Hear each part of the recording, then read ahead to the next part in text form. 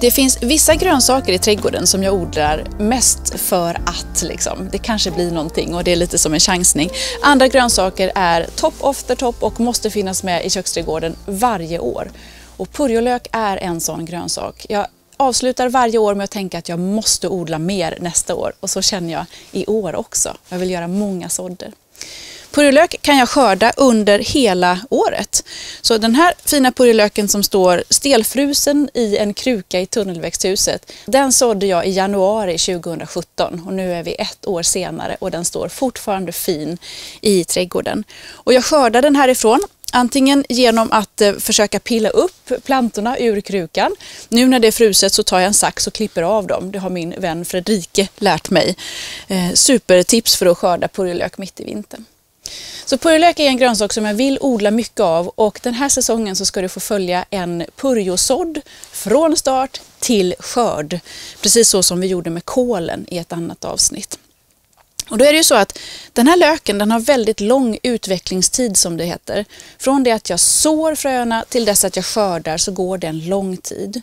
Och hur lång tid det går det beror lite grann på sort som jag väljer. Så att jag kan välja mellan många olika sorter.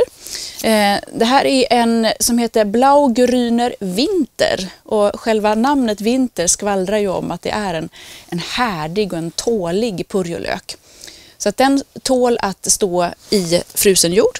Här har jag en liten lök som jag ska så idag som är mer av en sommarpurjo.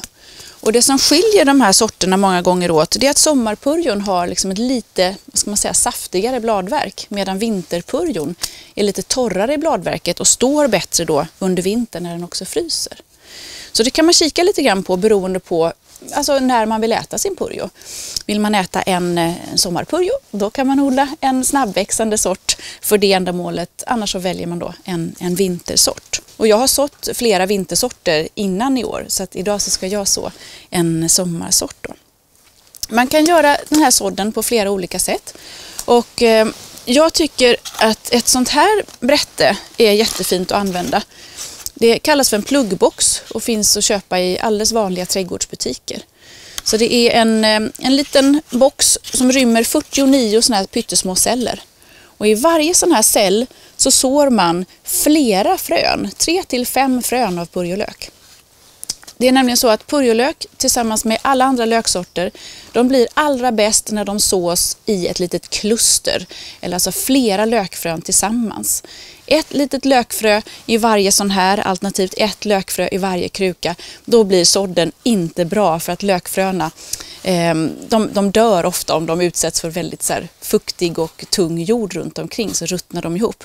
Men flera frön på samma plats klarar av att liksom härbärgera fukten i jorden. Så det funkar bättre. Så det är ett jättefint sätt att eh, så eh, lök på. har jag gjort inomhus redan. Men här har jag också en annan sådd som gjordes av den här Blaugrüner Winter den 4 februari. Den godislåda med några centimeter jord stelfrusen och här har jag då bara strösslat ut fröerna i det som kallas för vintersådd. För att jag har mött odlare i Norge som vintersår purjo med gott resultat och det ska jag prova i år. Men annars då så sår jag all min purjolök inomhus och eh, då använder jag gärna ett sånt här tråg, en gammal vindruvsask eller någonting sånt. Det funkar lika bra med en, en godislåda också. Och här fyller jag upp jord. Och det kan vara planteringsjord eller såjord eh, eller en mix av bäggedera. Jag har gjort eh, första sådden för året i januari och då använde jag vanlig planteringsjord. Den sådden gick inte så himla bra. Så att nu känner jag att nu vill jag inte gambla så att jag har valt en såjord. Eh, lite, lite blandat med planteringsjord också ser jag men, men mestadels en väldigt fin, fin jord. Och det jag gör är helt enkelt att jag tar mina lökfröer. Här i den här påsen så är det frö till ungefär 40 till 50 plantor. De allra flesta eh, fröpåsar som man köper lökfrön till brukar vara mycket, mycket mer. Jag ska ju använda hela påsen här. Så jag häller ut alltihop. Lökfrön är jättekluriga för att de ser exakt likadana ut allihop. De är svarta och så är de så här lite kantiga. Och om man häller ut en fröpåse i byxfickan och glömmer bort vilken sort det är så kan det lika gärna vara salladslök som en gul lök eller purjolök eller vad som helst. Och så tar jag mina frön och så strösslar jag ut dem lite försiktigt så här bara i krukan på ytan. Och de kan se ut att hamna ganska tätt men det gör ingenting. Och jag skulle säga att i ett sånt här tråg så gör det ingenting om man har dubbelt så många plantor som, som det här. Det kan vara några hundra fröer också beroende på vad påsen innehåller. Det gör alltså ingenting om fröerna står tätt och att sen plantorna växer upp tätt heller. Lök är ganska tålig. Så, och sen så bara täcker jag med eh, jord. Jag brukar inte vara så noga med hur mycket heller faktiskt. Det blir lite som det blir. Lök är ju en sån här fenomenal växt som faktiskt självsår sig väldigt enkelt. Så att om en purjolök står kvar år två och börjar blomma och sen så släpper ner fröer på backen så kommer de att gro även om de inte har täckts av exakt liksom 0,9 cm jord eller vad det nu är. Vi kan ju kika bak på fröpåsen vad det står här. Jorddjup 1 cm ungefär, står det. Så det här är min sådd. Och eh, nu ska jag ta in den här sådden och den ska få växa upp inomhus. Jag ställer hela det här tråget i ett annat tråg med vatten så att det får lov att suga upp vatten underifrån. Så jag vattnar helst inte ovanifrån för då blir det ofta stora gropar liksom i sådden och fröna sprids ut och så där. Det vill jag inte. Och så ställer jag den, behöver inte stå på undervärme men den ska stå liksom i, i vanlig rumstemperatur, lagom varmt.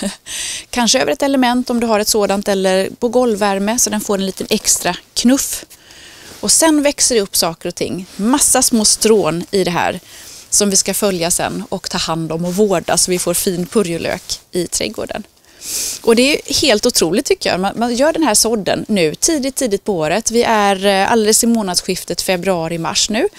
Sitter utomhus, det är i tunnelväxthuset. Det är precis så att temperaturen har kommit över nollan. Det var fem minusgrader när jag kom hit. Och jag sitter här med förra årets purjolök, gör årets nya sådder. Så det är verkligen så här, hand i hand går allt det här. Och Anledningen till egentligen att purjolök är så värdefull i min odling det är för att jag kan ha den utomhus kvar i landen under hela den här perioden. En vanlig gul lök går inte att hantera på det sättet utan den måste tas in och torkas. Så det är liksom en, en liten process för att behålla dem lagringsdugliga under en tid. Men en härdig purjolök kan jag då ha ståendes här ute i en, en tunna liksom i, i tunnelväxthuset och funkar jättefint. Så det är ett tips att odla mycket purjolök. Så den till exempel genom en bredsådd som det här heter. Låt den komma upp inomhus. Alternativt använd någon form av pluggbrätte som ett sånt här till exempel. Man kan också använda andra typer av pluggbrätten till men ofta för oss som är liksom amatörodlare och odlar hemma där vi har en försådd inomhus till exempel på en begränsad yta då är det jättesvårt att ha liksom det här jättestora brättet och odla purjolök i. Då passar det jättefint med ett sånt här mindre, mindre variant. En sak som jag skickar med också nu det är att eh, nu har jag valt en, en såjord här eh, och såjord är ju näringsfattig till skillnad från planteringsjord som innehåller mer näring. Så att så fort eh, purjolöken har kommit upp en bit då är det dags att börja vattna med någon typ av liksom, eh, gödselvatten. Och kissvatten är jättefint att använda, lakvatten från bokashi eller andra flytande näringar för just grönsaker eller växter inomhus.